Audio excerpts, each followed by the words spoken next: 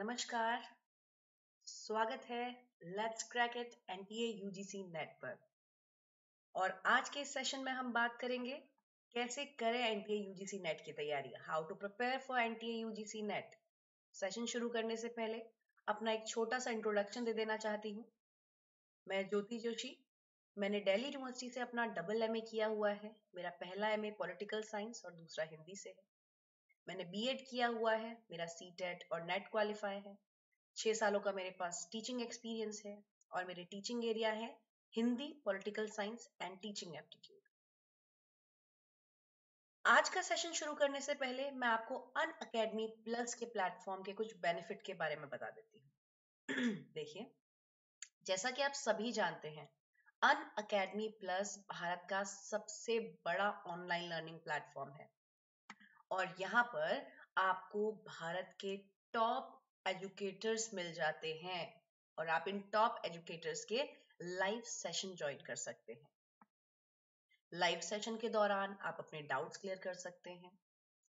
यहाँ पर आपको सारी अपकमिंग प्लस कोर्सेज की जानकारी मिल जाएगी। आपको सारे अपकमिंग टेस्ट सीरीज़ की जानकारी मिल जाएगी। यहाँ पर आपको वैरायटी ऑफ़ कोर्सेज अवेलेबल मिल जाएँगे। और सबसे खास बात, कि आपको स्टडीज़ के लिए कहीं भी बाहर जाने की ज़रूरत नहीं पड़ती। आप कहीं भी, कभी भी आसानी से पढ़ सकते हैं। यह आपके समय को बचाता है। ये उन लोगों के लिए बहुत ही फ़ायदेमंद है, जो लोग अपने कामकाज में व्यस्त रहते हैं। खासकर हाउसवाइफ्स जो अपने घर परिवार की जिम्मेदारियों में व्यस्त रहती हैं। वर्किंग पीपल जो अपने कामकाज में व्यस्त रहते हैं। तो ऐसी कंडीशन में वो कहीं भी रहते हुए किसी भी समय आसानी से अन अकेडमी प्लस के प्लेटफॉर्म में पढ़ सकते हैं। आपको यहाँ पर बेहतरीन क्वालिटी का स्टडी मटेरियल मिल जाता है। आपको लाइब्रेरी जाके समय बर्बाद करने की आवश्यकता नहीं पड़ती। आपको महँगी किताबें खरीदने की आवश्यकता नहीं पड़ती। आपको सारा क्वालिटी का स्टडी मटेरियल यहाँ पे फ्री में अवेलेबल मिल जाता है। एक और बात जब हम करते हैं, जब हम क्लासरूम टीचिंग को देखते हैं ना तो वहाँ पर आपका अगर कोई टॉपिक रह जाता है तो आपको खुद से प्रिपेयर करना पड़ता है। लेकिन यहाँ पर अन अकेडमी प्लस में ऐसा बिल्कुल भी नहीं है। अगर आपका कोई रह टॉपिक रह भी गया है तो आप उसे रिकॉर्डेड सेक्शन में जाकर के अनलिमिटेड टाइम्स देख सकते हैं। अब ये भी जान लेते हैं कि अन अकेडमी प्लस के प्लेटफॉर्म पर आप कैसे रजिस्टर कर सकते हैं? आपने क्या करना है? आपने मोबाइल में अपने प्ले स्टोर में जाना है और वहाँ पर अन अकेडमी की लर्निंग ऐप को आपने इंस्टॉल करना है। आपने इंस्टॉल किया, उसके बाद आपने गेट सब्सक्रिप्शन पे क्लिक करना है। आपको शो होगा कि आप कितने मंथ का सब्सक्रिप्शन लेना चाहते हैं। आप उतने मंथ सिलेक्ट करिए। और कंटिन्यू करिए। हम अन अकेडमी प्लस के जब फ़ीस स्ट्रक्चर की बात करते हैं तो जब आप ऑफलाइन कोचिंग्स में जाते हैं ना तो वहाँ पर आपको छह महीने के एनटीए यूजीसी नेट की फ़ीस करीबन 20 से पच्चीस हज़ार तक पड़ती है। लेकिन जब आप यहाँ अन अकेडमी प्लस पर देखते हैं तो यहाँ एक महीने की जो फ़ीस है, वो है दो हज़ार एक सौ रुपए। और वहीं जब आप तीन महीने की फ़ीस देखते हैं ना तो वो केवल है पाँच हज़ार दो सौ पचास रुपए। वहीं छह महीने की फ़ीस है आपकी आठ हज़ार चार सौ रुपए। बारह महीने यानी कि एक साल की आपकी फ़ीस है दस हज़ार पाँच सौ रुपए। और चौबीस महीने यानी कि दो साल की आपकी फ़ीस है केवल सोलह हज़ार आठ सौ रुपए। उसके साथ भी जब आप एक साल का फ़ीस स्ट्रक्चर देख रहे हैं तो वहाँ आपकी फ़ीस पड़ती है दस हज़ार पाँच सौ रुपए। इसके बाद जब आप मेरा रेफरल कोड लगाते हैं, जो कि है लाइव जे जे आपको ये रेफरल कोड याद रखना है। आपको ये रेफरल कोड याद रखना है, आप, मेरा रेफरल कोड है live J J L I V live J J और इससे आपको क्या होता है? इससे आपको मिलता है टेन परसेंट का डिस्काउंट। और इसके बाद आपकी फ़ीस और भी ज़्यादा घट कर रह जाती है नौ हज़ार चार सौ पचास रुपए। तो आप ध्यान देंगे कि आपके एक साल की फ़ीस केवल है नौ हज़ार चार सौ पचास रुपए। तो ये कोई ज़्यादा अमाउंट नहीं है। हम दो साल के फ़ीस स्ट्रक्चर की जब हम बात कर रहे हैं तो यहाँ पर भी आपको फ़ीस है सोलह हज़ार आठ सौ रुपए। इसमें भी आपने मेरा रेफरल कोड लगाया लाइव जे जे आपको फिर से मिलता है टेन परसेंट का डिस्काउंट और टेन परसेंट के डिस्काउंट के बाद आपकी फ़ीस घटकर रह जाती है केवल पंद्रह हज़ार एक सौ बीस रुपए। तो आपके ऑफलाइन कोचिंग के कंपैरिजन में यहाँ पर आपको बहुत कम फ़ीस देनी है। तो देर मत कीजिए और जल्दी से अन अकेडमी प्लस का सब्सक्रिप्शन लीजिए। चलिए, आज के इस सेशन को हम शुरू करते हैं और जानते हैं कैसे करें एनटीए यूजीसी नेट की तैयारी। तो मैं यहाँ पर आपको बताऊँगी ऐसे करें एनटीए यूजीसी नेट की तैयारी। आपको ये दस मूलभूत बातें जो मैं बताने जा रही हूँ, आपको गांठ बाँध लेनी है। आपका इन दस मूलभूत बातों पर अमल करना बहुत ज़रूरी है, ताकि आपका एनटीए यूजीसी नेट करना हो जाए आसान। लेकिन ये तभी हो पाएगा जब आप इन दस बातों को तो अमल में लाएँगे ही, लेकिन साथ में अपनी मेहनत और लगन में कोई कमी नहीं छोड़ेंगे। तो आपने अपनी मेहनत और लगन को निरंतर बनाए रखना है। आपने हार नहीं माननी है। और जो ये दस बातें मैं बताने जा रही हूँ, आपने उन्हें अमल में लाना है। तो चलिए, केवल ये दस बातें रखे ध्यान जिससे आपका नेट पास करना हो जाए आसान। अब ये दस बातें कौन सी हैं? जब हम इन दस बातों की बात कर रहे हैं, हम दस मूलभूत बात यहाँ पे कर रहे हैं, उसमें सबसे पहली चीज़ आती है टाइम मैनेजमेंट देखिए, आपको टाइम मैनेजमेंट करना आना चाहिए, यानी कि आपको समय नियोजन करना आना चाहिए। आपने सालों साल परीक्षा की तैयारी की। और वो तैयारी आपने की, उसके बाद जब आप पेपर देने बैठे तो आपका पेपर छूट गया। आपकी सालों की मेहनत पर पानी फिर जाता है। तो ऐसी कंडीशन में आपने क्या करना है? आपने मॉक टेस्ट सॉल्व करने की आदत डालनी है। आप जितना मॉक टेस्ट को सॉल्व करेंगे, उतनी ही आपकी स्पीड मेंटेन होगी और आपको एक अंदाज़ा लग जाएगा कि आपने कितने समय में कितने क्वेश्चंस को सॉल्व करके खत्म करना है। और अन अकेडमी प्लस में आपको ढेर सारी मॉक टेस्ट सीरीज़ मिल जाएँगी, जिनसे आपकी मॉक टेस्ट को हल करने की एक प्रैक्टिस हो जाएगी। इसलिए आपने ध्यान रखना है, समय नियोजन के अभाव में आपके सारे प्रयास निरर्थक हैं। कई बार विद्यार्थी परीक्षा की तैयारी तो अच्छे से करते हैं, पर पेपर को सही समय पर समाप्त नहीं कर पाते हैं। इसका समाधान क्या है कि आपने मॉक टेस्ट को हल करना है। जितनी प्रैक्टिस होगी, उतने ही आप परफेक्ट बनते जाएँगे।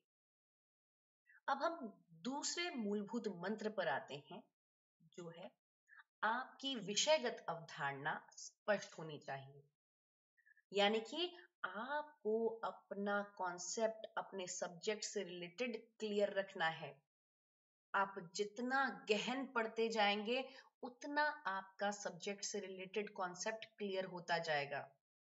और उसके बाद आपका सब्जेक्ट से रिलेटेड कोई भी क्वेश्चन आपको आ जाए पेपर में, आप उसे आसानी से हल कर पाएँगे, क्योंकि आपको अपने सब्जेक्ट की डीप नॉलेज है। तो इसलिए आपको ध्यान रखना है कि आपको अपने विषय की गहन जानकारी होनी चाहिए, जिससे आप अपने विषय से संबंधित किसी भी प्रश्न को हल कर सकते हैं। अब हम तीसरे मूलभूत मंत्र की जब बात करते हैं तो तीसरा मूलभूत मंत्र है कि आपने पूर्व प्रश्नों का विश्लेषण कर लेना है, यानी कि आपने एग्ज़ाम एनालिसिस करना है। आपने क्या करना है? जितने भी प्रीवियस ईयर के क्वेश्चन पेपर हैं, उन सभी पर एक निगाह डाल लेनी है। और निगाह डालते हुए आपने क्या करना है? आपने उन प्रश्नों और उन विषयों पर ध्यान देना है जो लगातार आते हैं हर साल। और आपने उन विषयों और उन प्रश्नों को पक्की तौर पर तैयार कर लेना है। तो इसलिए जो विषय या प्रश्न निरंतर आ रहे हैं, उन विषयों व प्रश्नों का आपने विशेष ध्यान देना है। कब? जब आप पूर्व प्रश्नों का विश्लेषण करेंगे। आपने सारे प्रीवियस ईयर के क्वेश्चन पेपर का एनालिसिस करना है। अब हम चौथी मूलभूत बात पर आते हैं। वो है स्मार्ट स्टडी यानी कि विवेकपूर्ण अध्ययन। हर साल एनटीए यूजीसी नेट के लिए हज़ारों की संख्या में अभ्यर्थी आवेदन करते हैं। और जब वो आवेदन करते हैं तो पढ़ के ही करेंगे।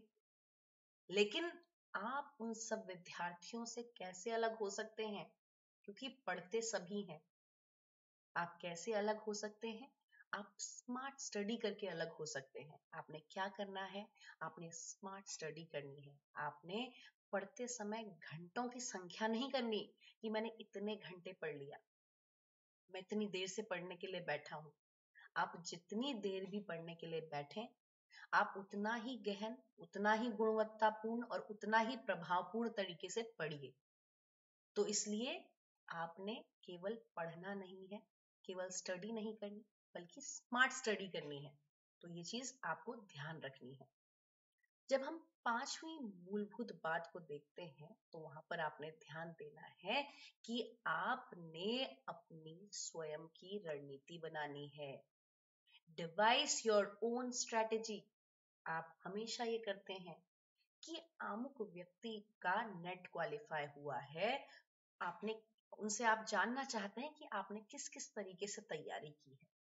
जानिए, बहुत अच्छी बात है। लेकिन दूसरों की देखा देखी या नकल ना करें। ये हमेशा से याद रखिए कि हर व्यक्ति एक दूसरे से अलग होता है। आपकी क्षमता दूसरे से भिन्न है, इसलिए आपको याद रखना है। आपकी कैपेबिलिटी और कैपेसिटी को आप बेहतर तरीके से जानते हैं। तो उसको पहचानते हुए आप अपनी स्ट्रेटेजी खुद बनाइए। दूसरों की देखा देखी ना करें। और ये हमेशा याद रखिए कि आप अपने आप को बेहतर तरीके से जानते हैं। अपने आप को जानते हुए अपनी स्ट्रेटेजी को खुद बनाइए। कि आप किस तरीके से कैसे तैयारी कर सकते हैं।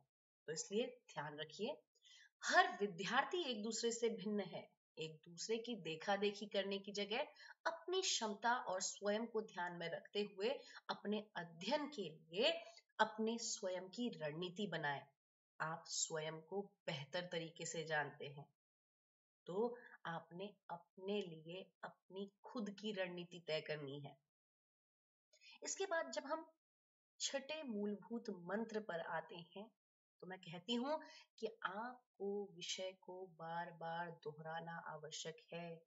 रिवीजन बहुत ज़रूरी है, क्योंकि अगर आप रिवीजन नहीं करेंगे तो आप चीज़ों को भूलते रहेंगे। आप जितना रिवीजन करेंगे, उतना आपके दिमाग में वो चीज़ें बैठती रहेंगी। तो इसलिए रिवीजन करना बहुत ज़रूरी है। आप जब रिवीजन करते हैं तो आप उसे बार बार चीज़ में, दिमाग में जो है वो बार बार उसे याद करते हैं। तो इससे आपके दिमाग में वो चीज़ें बनी रहती हैं। इसलिए एक बार पढ़ लेना काफ़ी नहीं है। इससे आप परीक्षा पास नहीं कर सकते। पढ़े गए विषयों को निरंतर दोहराते रहिए। कभी भी ओवर कॉन्फिडेंस में मत आइए। मेरी तैयारी पूरी है। मुझे और ज़्यादा पढ़ने की ज़रूरत नहीं है। जितना आप दोहराएँगे, उतना ही आपके लिए फ़ायदेमंद होगा। आप कई साल चीज़ें पढ़ते हैं। आप इतना नहीं याद कर पाते, लेकिन परीक्षा से कुछ दिन पहले जब आप पढ़ने बैठते हैं ना तो आप कई किताबों पे सरसरी निगाह डाल लेते हैं, आप कई चीज़ें देख लेते हैं।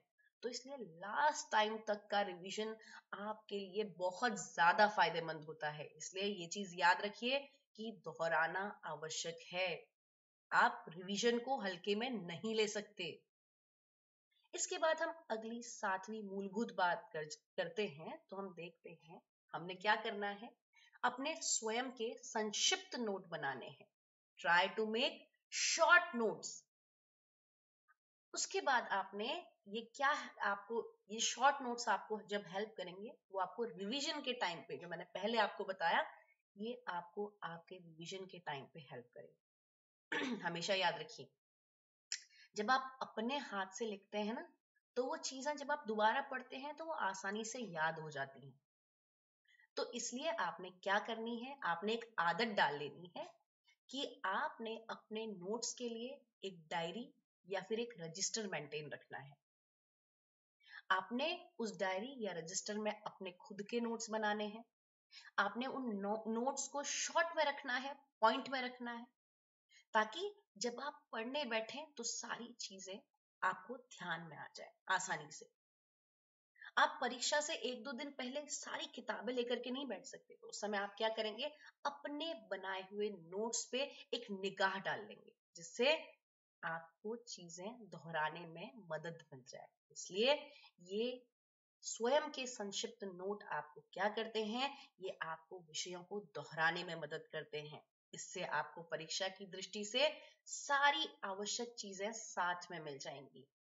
पर ध्यान ये रखना है, आपके नोट्स शॉर्ट और पॉइंट में होने चाहिए। जब हम आठवीं मूलभूत बात करते हैं तो हम हमेशा ये कहते हैं कि पॉजिटिव एटीट्यूड रखिए। यहाँ पर भी आपको पॉजिटिव एटीट्यूड रखने की बहुत आवश्यकता है।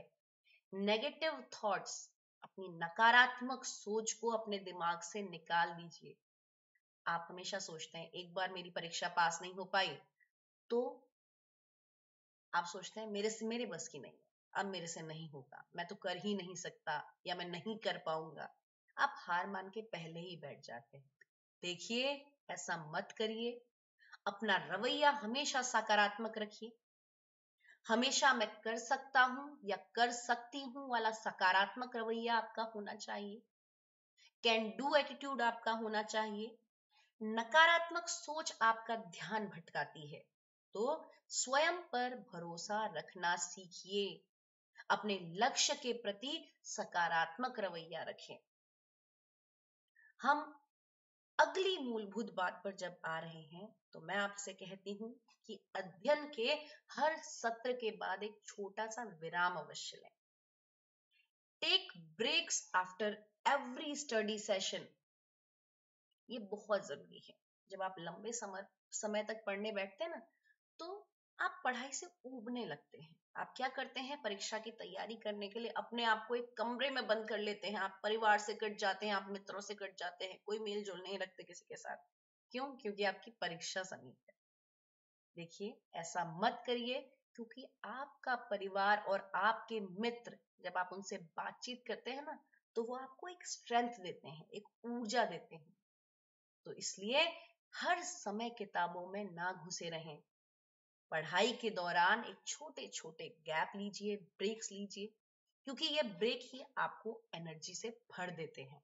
इसलिए ध्यान रखना है, किताबों में ही हर समय न चिपके रहें, ऐसी क्रियाओं के लिए भी समय निकालें जो आपको तनाव मुक्त और ऊर्जावान रखती है। अब हम अगली दसवीं मूलभूत बात पर आते हैं जो बहुत ज़रूरी है। ज़्यादातर अभ्यर्थी इसको ज़्यादा महत्व नहीं देते, लेकिन सबसे बड़ी गलती वो यही करते हैं। ये दसवीं मूलभूत बात क्या है? कि पेपर वन और पेपर टू दोनों को आपने समान महत्व देना है। आप किसी भी पेपर को हल्के में नहीं आंक सकते, आप ये नहीं सोच सकते कि हाँ पेपर वन में कम क्वेश्चन है, कम मार्क्स का है तो हम पेपर वन पे ज़्यादा फोकस नहीं करते।